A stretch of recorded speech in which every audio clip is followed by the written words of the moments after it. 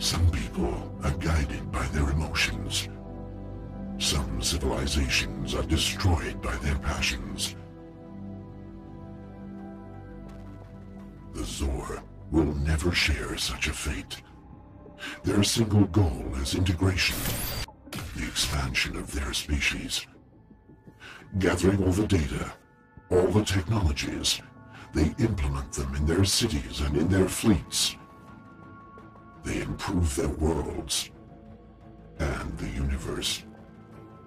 They develop new processes to improve themselves, and they integrate this in each of their drones and spaceships as a means of strengthening the unity, the nucleus, the core.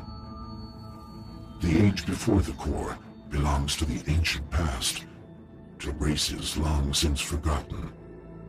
Nobody knows if the first beings developed by themselves, or if they were experiences from other people trying to create intelligent machines.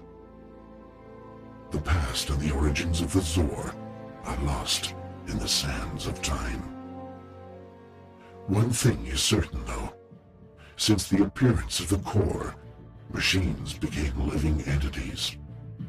Through the core, the X'or gave their life a meaning, and they started to multiply. They were only a few, without a goal, without a frame.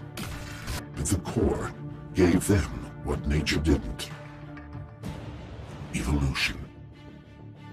As they are not plagued with the problems biological races face, such as wars and diseases, they become, in a very short lapse of time, the equals of civilizations that have been evolving for millennia.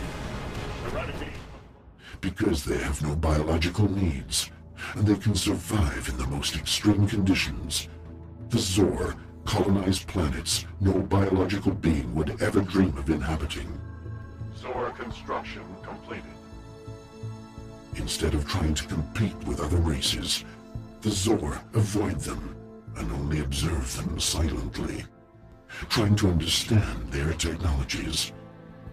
Since their territories use raw materials with very low yield, and they have such a major technological advantage, the X'or don't really fear being attacked by the other races.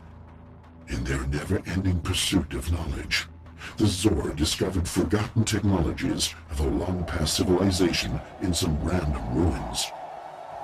Since then, they explore the galaxy, looking for other artifacts from that race, which, much like the X'or, was mostly interested in knowledge.